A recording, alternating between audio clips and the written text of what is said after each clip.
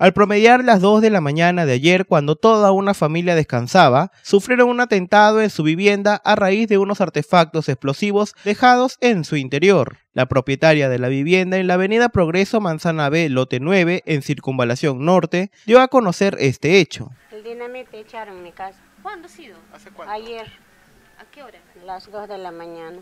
¿Es la primera vez que sucede esas cosas? No, la segunda vez ya. Segunda vez. Primera vez también me echó, pero claro, así quedó. La, la autoridad vinieron.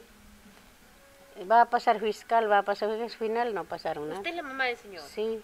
¿Y Yo soy es lo que pasó? esposa, ¿Qué mi es esposa. pasó? Soy ¿A dueña de la casa. No, pero el señor es, es el esposo. El, el mi hijo es, Ah, sí, jo- sí. mi hijo es lo que es que lo que viene, eh, que es mujer que vive, ese es mi hijo. Ay, ay, ay. Señaló que tienen un sospechoso y sería nada más y nada menos que la expareja de su hijo. Esta mujer de nombre Karen Juliana Zárate Rojas es señalada por la propietaria de la vivienda, señalando que habría actuado así ya que su hijo había puesto fin a su relación. Ah, este, este, claro, mi hijo ha vivido durante casi 11 años con una señora. Y ahora con él dice, un- dos semanas ha terminado ya, porque ya tantos tiempos yo no tengo nada y solo ha razonado ya. Desde el colegio llevo ella. Y ahora él dice, "¿Y donde vive él acá no vive. Trabajando ha vivido otro sitio. Y él, cuarto que alquila vive, ahí dice ya me quitó dos semanas. Que no le avisó nada. Y ese venganza dijo, ahora te agarraste su carro de papá, con todo carro te voy a quemar, dijo. Dice. Ella le ha amenazado, entonces. ah, él- ella es en Karen, Karen Zárate. Ahora te está Claro, ella, la ha hecho también primera vez también, porque ¿sabe por qué? Cuando le, le- mi hijo, ella le compró una moto.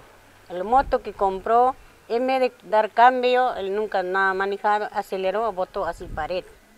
Se rajó por acá, herido grande era. Ese ya echaron la culpa, culpa de usted, diciendo la mamá, hermanos. Mi hijo vino donde de mí.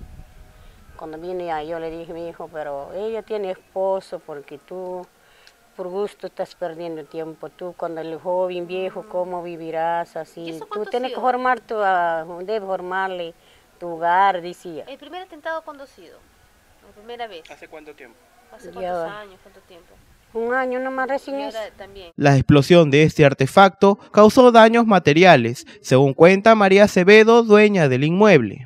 Estas lunas también Sí, fueron todo. parte del- Sí, ayer iba a venir el lunero, no ha venido. Sí, todo, esta luna está, ya se ha volado. Ahí ese cuarto todo también, pero... que se hace ¿Fue una explosión fuerte? Eso, ¿Explosión uno- fuerte fue? Sí, son dos habrán echado, dos mechas encontremos. Pero eso, eh, esa señora, ma- ustedes, pues no, uno son, ella, por mí debe agradecer. Antes que compromete, ella no tenía nada con mi hijo, que trabajador. Antes para Ecuador llenaba en manzana tres partes, con 600, 700 amanecía mi hijo. Con ese hecho dinero, con ese la capital. Ahora 15 hectáreas chacra alquilado. Tiene buen capital, buena casa tiene. En vez de agradecer, este me perjudica. Señor, yo nunca le he malogrado, nunca le he tratado mal. Mi hijo quiere que vive con ella todo el tiempo, pero ahora mi hijo solo, Le ha solo ha razonado, ya, ya son la ha dejado. ¿Cree que 27 es venganza años. porque la ha dejado? Ajá. Ya. Ahora, y- este, ¿al- ¿había alguien de repente resultó herido luego de...? No, no, el mente no es bueno, ¿no? Dios no agrada tampoco. Yo soy testigo de Jehová tampoco, yo no ¿Han- puedo han echar la aceptado- culpa por ¿Han gusto. acentuado la denuncia? Solamente sí he denunciado, solo tengo el, el, el carro la- el todo destrozado.